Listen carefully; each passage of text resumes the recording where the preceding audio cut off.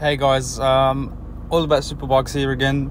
So this was the my BMW, which is now sold and it has been sent to a new home. Um, this was a bit of a close up on my GoPro of some of the mods that I did to this bike before I sold it. There were some more mods that I didn't really take videos of after this video.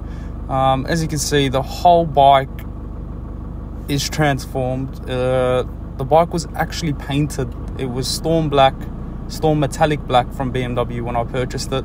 I repainted it into the Nardo grey that the Audi RS cars come in.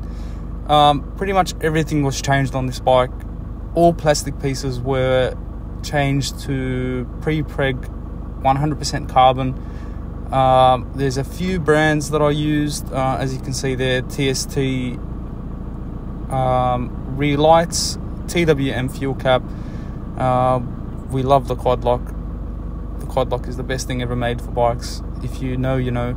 Um, but yeah, I had a fair bit of kilometers on this bike. I had 9,800. When I did sell it, it was at 12,000. We have the BMW OEM um, high windscreen with the BMW levers, uh, 19 RCS Corsa Corta uh, front master cylinder, um, side dashes all in carbon, tank sides, gills, belly pan, a full Akrapovic system, M uh, replica winglets by Extreme Components, um, uh, the brake uh, the brake caliper ducts, the front nose, the high windscreen. Um, those mirrors were actually replaced by the Rizoma stealth mirrors eventually. Never got a video of those.